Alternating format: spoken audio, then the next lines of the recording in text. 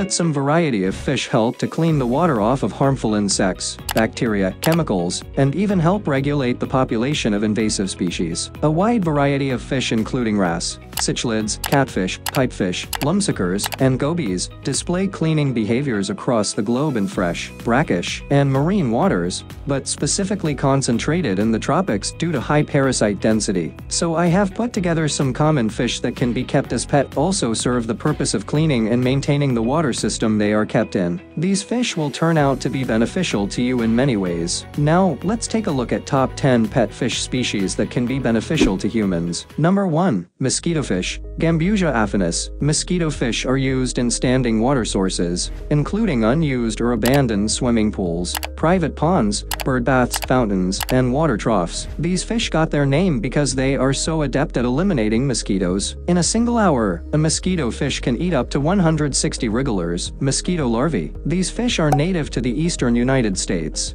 which reaches as far west as Texas, and as far south as Alabama. Compared to the male's 4 centimeters, the female grows to a height of around 6 centimeters. The water's pH, acidity, alkalinity, softness, or hardness, as well as any differences, have minimal impact on the mosquito fish's preferences. The fact that mosquito fish live in the same quiet water as wrigglers do is one reason why they are so effective at catching them. The mosquito fish prefer water temperatures around 78 degrees Fahrenheit. Because it tends to be a little aggressive, it is best to keep it with other fish of the same species. Since mosquito fish are an invasive species, introducing them into sensitive environments or natural streams may result in the extinction of native species and an alteration of the ecological balance.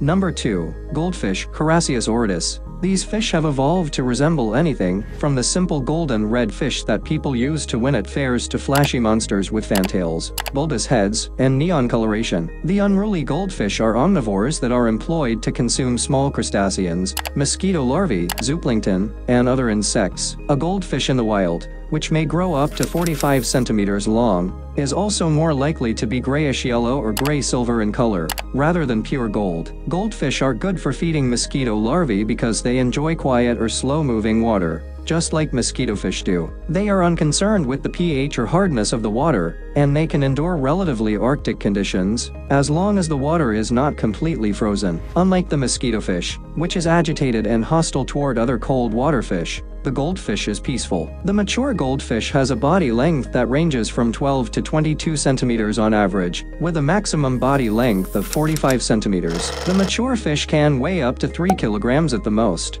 Number 3. Guppies, Poecilia reticulata, like goldfish, the guppy has been bred for aquarium owners' delight. As a result, it has a diverse range of colors, patterns, and fin shapes. It originates from the Caribbean and is related to mosquito fish. They are regularly added to both natural and man-made water features as a mosquito deterrent. Studies have shown that guppies can eat a significant amount of mosquito larvae. Guppies can thrive in harsh or even very hard water. Just make sure the water parameters are accurate and that the tank is cycled appropriately to provide a suitable home for your guppies in captivity. To mimic the underwater rockery and vegetation of the fish's native habitat, use plants and tank accents. Water temperature should be between 75 to 80 Fahrenheit, and acidity should be between 6.8 to 7.6 pH. Guppies typically measure 5 centimeters in length when fully developed. Male and female guppies both grow to be twice as big. Males can reach lengths of up to 3 centimeters, while females can reach lengths of up to 5.4 centimeters. Guppies can live up to two years in both the wild and in captivity.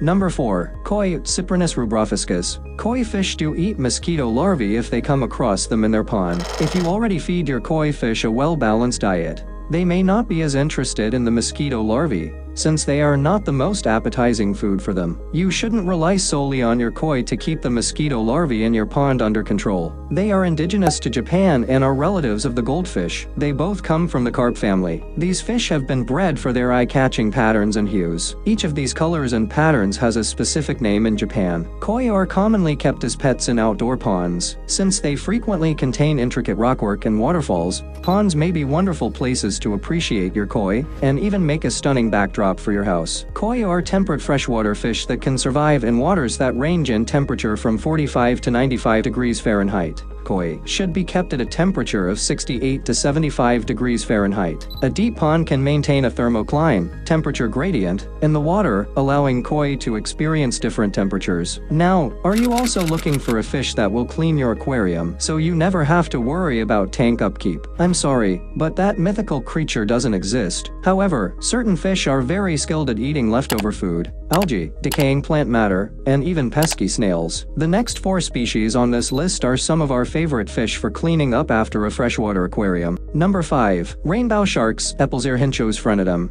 and redtail sharks, Epalzeorhynchos bicolor. These freshwater sharks may seem weird at first, but you'd be amazed at how well they keep things tidy. Both shark species are scavengers that take leftover food that is tucked between accessories, rocks, and equipment. Rainbow sharks will even eat algae as part of their diet. Red tail sharks and rainbow sharks can easily be confused because of their similar appearances. Despite being to exhibit many behavioral, dietary, and habitable similarities, as well as some distinct variances, the rainbow shark originates from freshwater in Southeast Asia, while the red tail shark originates from Thailand. The red-tail shark lives in fast-flowing rivers or streams, but the rainbow sharks live in rivers with sandy substrates and medium currents. The red-tail and rainbow sharks are both at risk of going extinct in their natural habitats although there are more of them in the aquarium trade. Another thing the rainbow and red-tail shark have in common is the characteristics of the water. The optimal water parameters for both species are 77-78 degrees Fahrenheit, a pH of 6.57.3, and a water hardness of 511. When fully developed, rainbow sharks can measure up to 15 centimeters in length. They are fish with a strong sense of territoriality,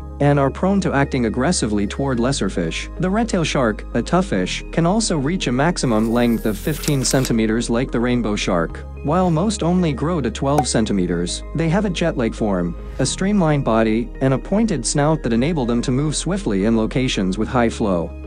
Number 6. Eartheaters, Geophagus, small crustaceans, fruit that has fallen from trees and plants, and insect larvae make up the majority of their diet in the wild. For this reason, earth-eaters need a significant amount of roughage, cellulose chitin, in their diet. These can be found in green plants and crab shells, and incorporating these foods into their diets can help them avoid bloating. Earth-eaters first appeared in South America, primarily in Colombia and Venezuela. Forested tributaries, forested streams, and particular varieties of backwater habitats with sandy bottoms and gravel are their preferred habitats. The ideal temperature range for earth-eaters, which ranges from 70 to 77 degrees Fahrenheit, is lower than that of many other South American cichlids. The majority of earth-eaters are fairly large cichlids. The largest can grow to a length of 30 centimeters, but most are between 10 and 12 centimeters.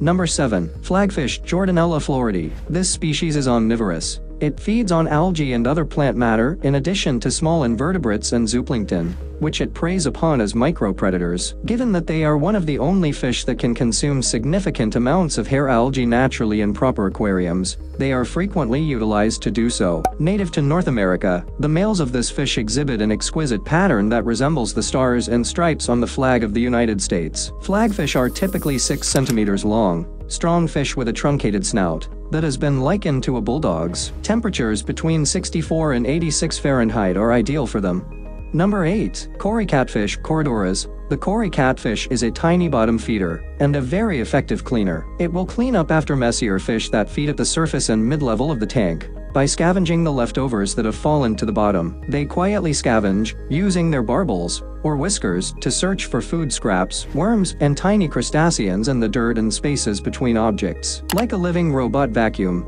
Cory catfish enthusiastically suck up any food that gets away from the surface eaters. They can't survive on leftovers alone, so make sure to feed them special foods like Repashy gel food, sinking wafers, and frozen bloodworms to keep their stomachs full.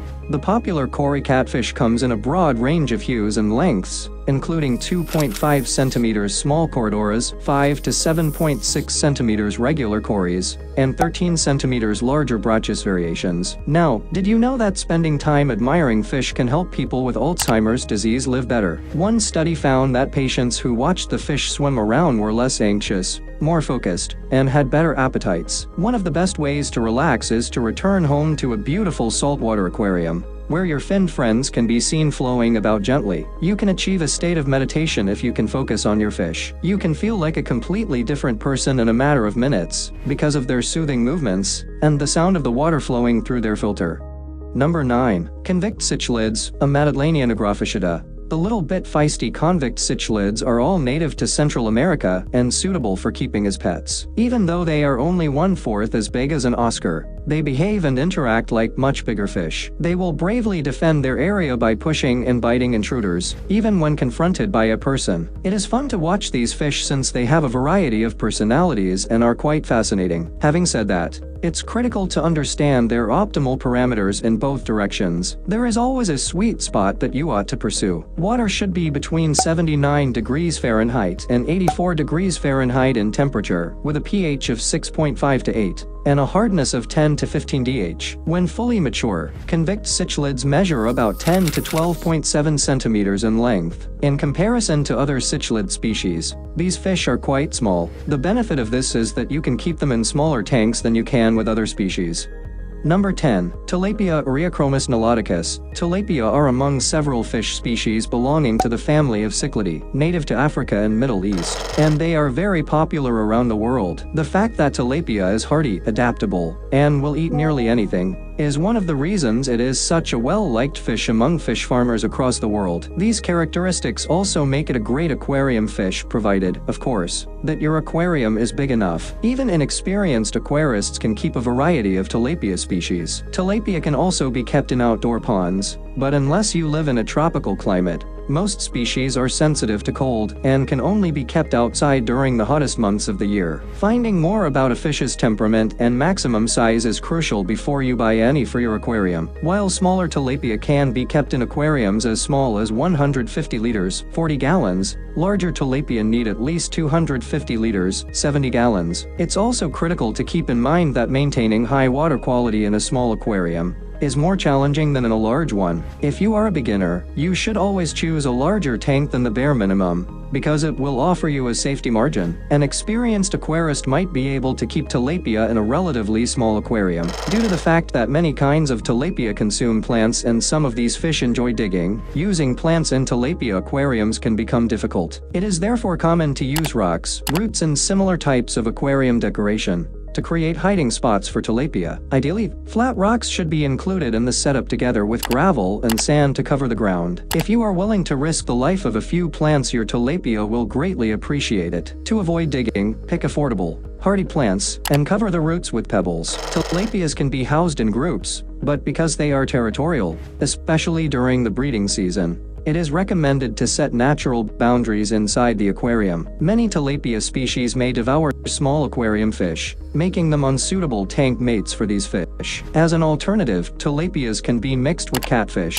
barbs, and other semi-aggressive cichlids. The cichlid family includes all species of tilapia. The majority of species can live in both acidic and alkaline waters with a pH range of 6 to 8. As long as the water temperature is higher than 23 degrees centigrade or 74 degrees Fahrenheit. However, the fish will be more susceptible to disease in waters with poor quality. That is the list for top 10 fish beneficial to humans. If you liked any fish in specific do comment it in the comment section. Thanks for watching like, share and subscribe this channel for more videos like this.